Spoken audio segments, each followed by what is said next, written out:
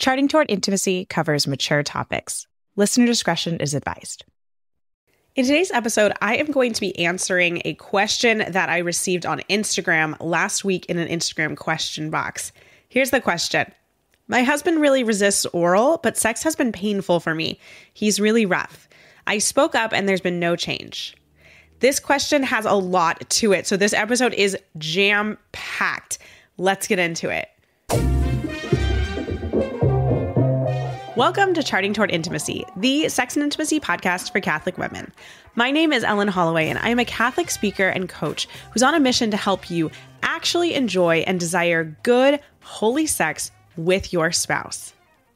So, I first want to talk about painful sex. I'm going to go a little out of order of this question here, but the woman mentioned sex has been painful for me.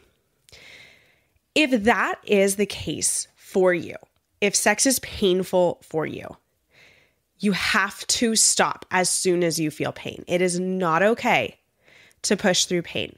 One, that's going to only make sex more painful in the future because pain with sex, pain in your vulva area, actually is not just a physical pain, it also is very connected to your brain.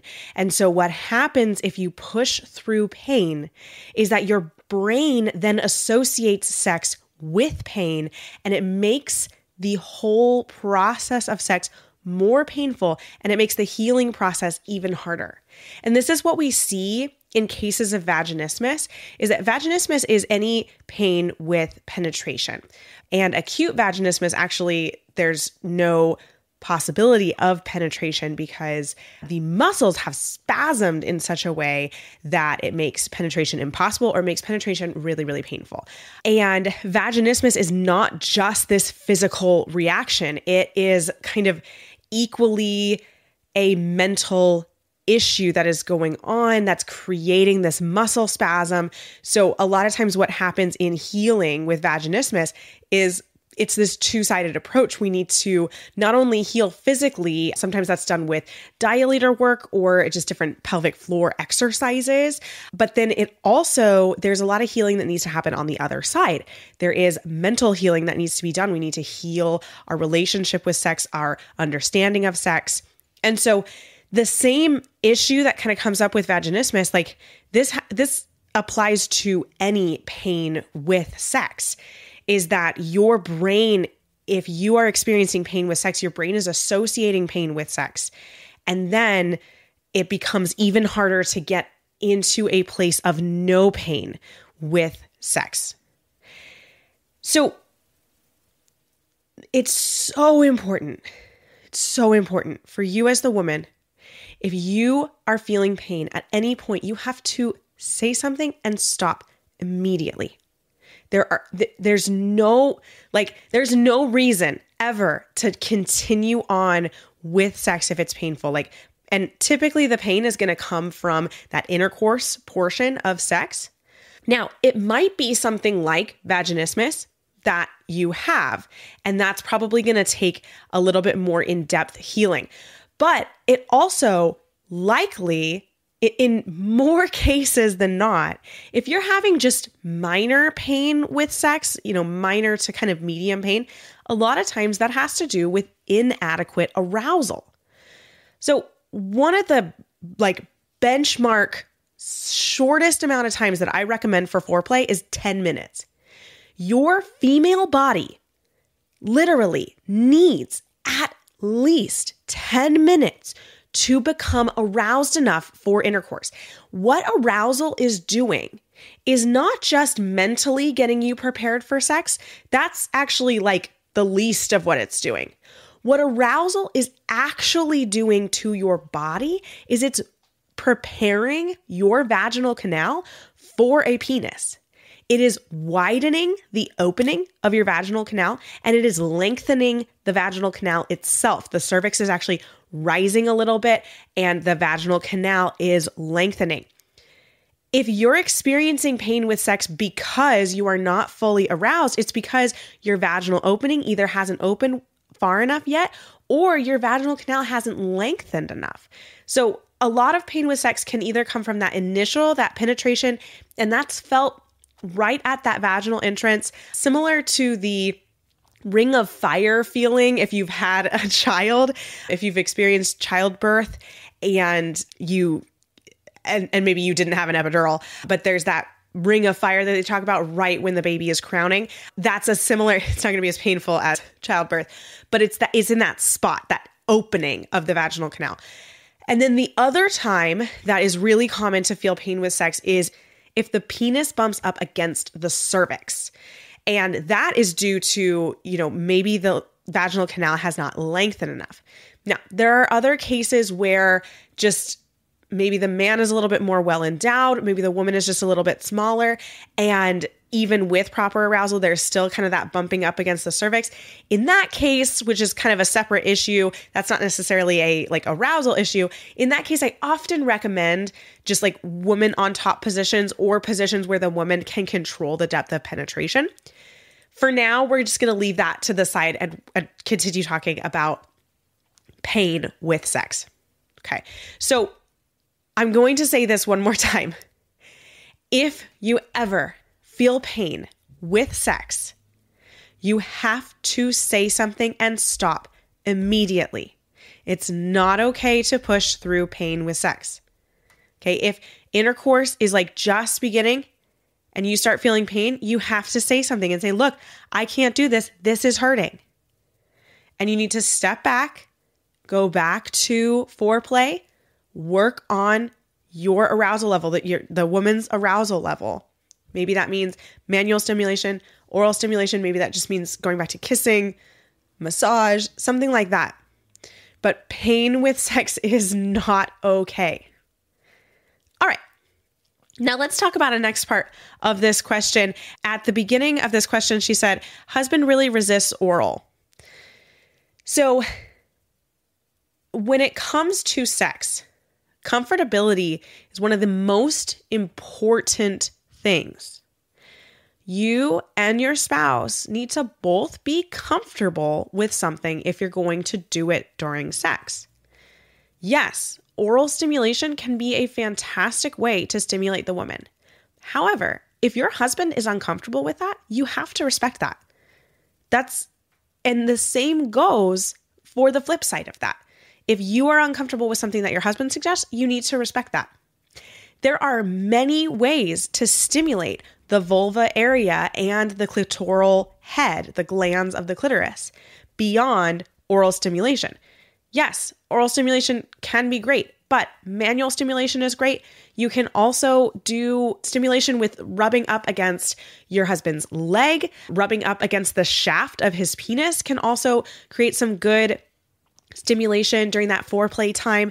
There are lots of options here that don't have to do with oral stimulation. And so that is also the you know, this is just a multifaceted question here that we're answering is we have to respect where our partner, where our spouse has discomfort. And that is because sex is more than just a physical act. Sex is a act of the whole person. We are a body soul union. That's what it means to be human. So, what we do with our body matters. And sex, in particular, because it is the most vulnerable that hu- two human beings can get on earth, then sex has a lot to do with that body soul connection. And if our soul, if our spirit, if our mind is not comfortable with something, is not on board with something, then it's not going to help to push through that. We end up getting a similar situation as the pain with sex, but just flipped from the other side. So, where pushing through pain, where pushing through pain with sex can lead to more pain, pushing through discomfort with something during sex leads to more discomfort with that thing. So, what I suggest in this situation is you have brought it to your husband's attention that you would like to try oral stimulation. Or maybe it's something else, but we'll go off of the example in this question here. and your husband's like, I, I I'm not comfortable with that. Okay, great. That's fine. Leave that on the table, but the conversation's not over.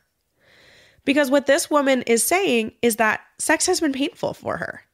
There's clearly something amiss right now, and it's likely that she is not getting adequately aroused during foreplay. So just because your spouse doesn't want to do something that you've suggested, that doesn't mean that the conversation is over. Now it's time for you guys to communicate about what might work, right? So, in the case of this woman who asked this question, oral sex, we need to set that aside for now. Maybe at a future time you can bring it back up and talk more about it. But right now, the husband clearly said he, he's resistant to it, is the words that she said. Okay, let's talk about manual stimulation. Let's talk about different ways that we can work through foreplay. Let's talk about different ways that arouse the woman. Okay, looking at what her brakes are, what her accelerators are, what arouses her, and what turns her off. And have a deep discussion about those and come up with a plan for foreplay the next time that you come together for sex. And maybe that plan is, well, let's let's try manual stimulation this next time. And let's see how that works. And then ideally, we're also communicating in the moment. If something's not working, then you say something that, that this is not arousing me enough, right?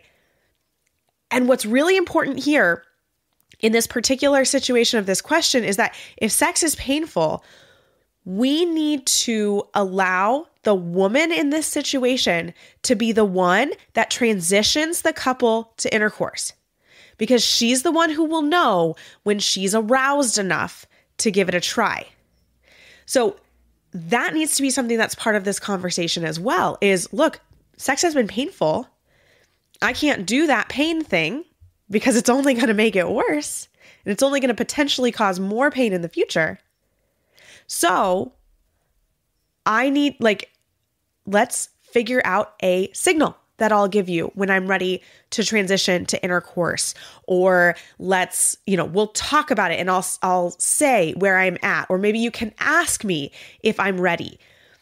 But when it has to do with when it's pain that has to do with arousal, the woman really needs to be communicating her arousal level or she needs to be the one that is the one that actually transitions the couple into intercourse from that foreplay time.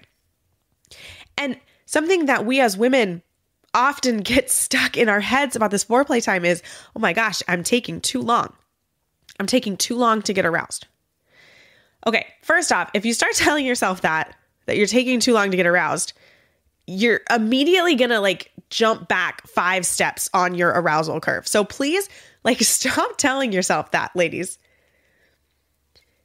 It's gonna take how long it takes.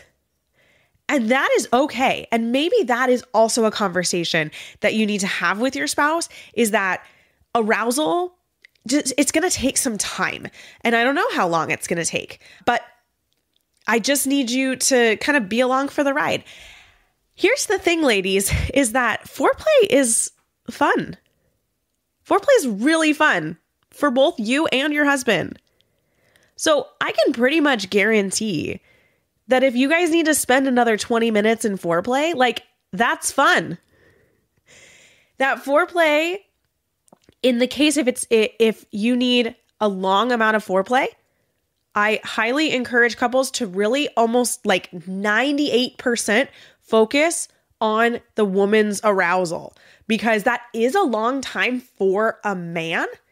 His arousal curve is going to be a lot shorter than that. That's just biologically typical is that the man's arousal curve is shorter. Now, there are cases you guys have messaged me on Instagram about this like there are cases where it's flipped.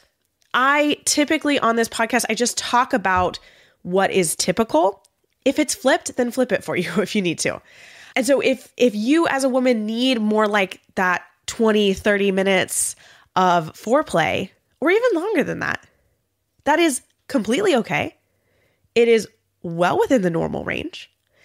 And something that you as a couple just need to kind of recognize there is that that foreplay then should really be focused on the woman's arousal and not so much on the man's arousal because through foreplay, through arousing you, that is likely going to be enough to have him aroused when it's time to come together for intercourse. Really quick before we get on with the rest of the episode, I just wanted to ask you that if this podcast has blessed you in any way, or you've learned something from this podcast, would you please rate and review this podcast? The reviews in particular really help people find this podcast and benefit from it. So I would be so grateful if you would rate and review the podcast. All right. The next part that I want to talk about this question, I'm going to read it out loud again so you guys are with me is husband really resists oral, but sex has been painful for me. So we've kind of covered those two. He's really rough. Spoke up, no change. All right. So if the pain is coming from like not enough arousal and also this combination of much more rough sex, rough thrusts, then this couple, and if this is the case for you as well, you need to switch to a position where the woman has control. You need to switch to a woman on top position or something where really strong thrusts just aren't really possible. Okay, so side lying positions can be really good for this because there's not as much like leverage for the man to have like very, very rough thrusts. And you know, there's there's one thing, of course, asking your husband to be less rough, but I, I know for some men that in the moment it, it's kind of hard to like tone it down. And so this is why I often really suggest is just switch to a position that's going to kind of force him to tone it down. The lotus position can be very good for this. Woman on top, so, you know, more of like a cowgirl position or just reverse missionary those positions are going to give the woman more of the control or it's just going to like kind of pull back on the ability for like deep rough thrusting. And i think that that will really help in this situation. So that's actually just a really easy change to make is just switch up the position that you're using as well as making sure that you're fully aroused all right and then the last part of this question that I want to address, and I did do a whole podcast episode about this like several months ago, and it was just about communicating. But she ends this question with spoke up, no change. If there's no change after you've said something, then it's time to say something again. When it comes to sex, there's no such thing as a one and done conversation. This is a squeaky wheel gets clean situation. Because if you say something once and nothing changes, then you're just going to get frustrated with each other because maybe your husband forgot. Maybe he didn't really realize how much it actually meant to you. Maybe he didn't understand fully what you were talking about, right? But then you're over here going, I told him, I told him once, and nothing changed.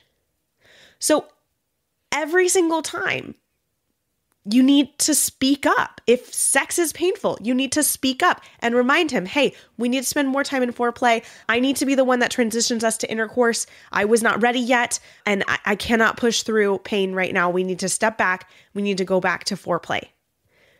You need to bring this up in conversation regularly. One of the things that Kathleen and I suggest quite a quite a bit on this podcast is talking to your spouse every single day about sex. Like, set aside five minutes, five minutes before you go to bed, five minutes first thing in the morning, where you just know that you're gonna talk about sex because sex is a deeply important part of your relationship and it's something that you should be talking about. And if you are regularly talking about sex, then there's less of a chance of these conversations about sex to become really volatile and explosive because you'll know, okay, well, we didn't really address this fully today, but that's okay because we're going to talk again tomorrow and I'm going to bring it back up again tomorrow, right? So it doesn't have to be this like, I have to get everything out in this one conversation right now and, you know, and not having a conversation until things literally boil over and like have to come out. So start talking, start today, start talking every day about sex. And if there is something that needs to change in your sexual relationship, especially if it has to do with pain, especially, or like adequate arousal, right? If there is something that needs to change in your sexual relationship, you keep talking about it until it changes. That is the only way it's going to happen because if you only talk about something once, then your spouse has no way of knowing how really important it is to you. But if you are constantly bringing it up, it's going to make more sense how important it is. And this is not because your spouse doesn't care about you. It's because this particular topic isn't at all important to them. And so it's not that they don't care, it's just that their level of understanding of how important this is is like zero. And you're up here at like 98. And so if you continue to bring it up, then it'll start to make sense. Oh, this is actually something that you care about. This is actually something that's really important. Because think about any other topic. Let's say that it was really important for you that your family took a family vacation to Disneyland in a year. It's really important to you that this happens. Are you going to bring it up one time and then never speak about it again? No. You're going to talk about it until you have the flights booked, until you have the tickets bought, until you know which hotel you're staying at. You're going to research it. You're going to have conversations with um, other families who have gone to Disneyland. You are going to be reading blogs about it. You're going to be texting articles to your husband about this potential Disneyland trip. You're going to be doing so many things because this is so important to you. But now let's flip it. Let's say it's like not that important. And it's just, it, oh, it would be really cool if we went to Disneyland next year. Wouldn't that be fun? And you bring that up to your husband and he's like, yeah, that would be fun. But if it's not that important to you, like that might be the only time you talk about it. And maybe you go or maybe you don't go. But if something's really important to you, you, you keep at it. You don't just mention it one time and then not do anything about it. All right. This episode is why I did not answer this question on Instagram because it took me 20 minutes to answer this question because there was a lot to it. But to sum it up, I want to go back through, I'm going to read through this question and I'm just going to quickly sum up what we talked about. Okay, so here's the question Husband really resists oral, but sex has been painful for me. He is really rough. Spoke up, no change. All right, so first off, if there is something that one spouse is uncomfortable with in sex, that has to be respected. And you need to have a conversation about what would be comfortable instead. If sex is painful, you need to stop immediately. That pain very likely has to do with your arousal level. And so that might just mean stopping and stepping back and focusing on arousal more. And then also just really focusing on making sure that there is adequate arousal before you even attempt intercourse the next time that you have sex. If your husband is really rough and that is too much for you, one, arousal level may be at play here, but with when it comes to like really rough, of course, you need to say that and you need to talk about it, but also changing positions to limit the ability of like rough, deep, hard thrusts is a great option here because that's something that's really easy to do. There are some easy positions that you can switch to things like woman on top positions or side lying positions or like lotus where you're seated facing each other positions. And then if you have talked about something to your spouse and nothing has changed, then that just means it's time to talk about it again. If if something needs to change in your sex life, you need to keep talking about it until it changes. That's how it works for anything that is important to you is you keep talking about it until something changes. Thanks so much for listening. If you are not already following us on Instagram, be sure to check us out at Charting Toward Intimacy. And if you listen to podcasts on a platform that gives you the option to rate or review, we'd love for you to do that because it helps us spread the word about the podcast. If you ever have questions, comments, or episode topic ideas, please reach out to us. We love to hear from you. You can reach out on Instagram or send us an email. Our email is in the show notes. Until next time.